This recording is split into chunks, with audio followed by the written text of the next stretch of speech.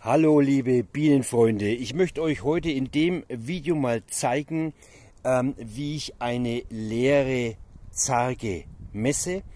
Und zwar habe ich folgendes vorbereitet. Zum einen habe ich einen hohen Boden vorbereitet, dann die erste Zarge, die zweite Zarge, dann habe ich eine Kofferwaage, ähm,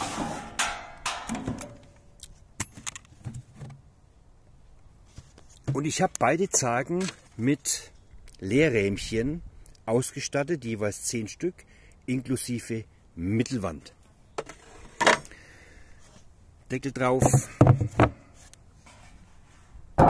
Deckel drauf. Und jetzt messe ich hier unten, da habe ich mir Trick 17 gemacht, und zwar einen Haken, schalte meine Kofferwaage ein. Und wiege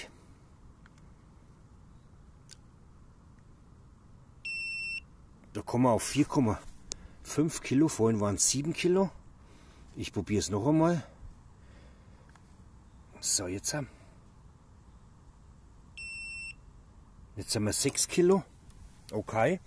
Also ich habe vorhin auch 7 Kilo schon gehabt. Von der Seite ist es vollkommen okay.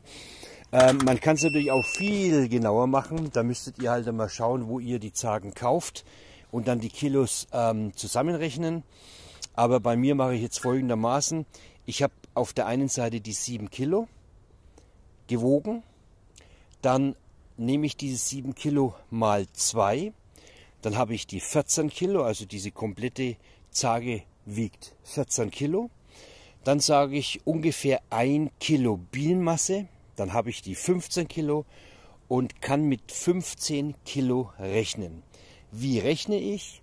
ähm, wenn ich meine äh, Völker ähm, wiege, dann wiege ich die auch auf einer Seite, habe zum Beispiel 20 Kilo auf einer Seite gewogen, nehme diese 20 Kilo mal 2, dann habe ich 40 Kilo und ziehe dann sozusagen die Leerzage und die Bienen mit den Mittelwänden und den Rähmchen ab. Das sind die 15 Kilo und dann habe ich 25 Kilo Futter.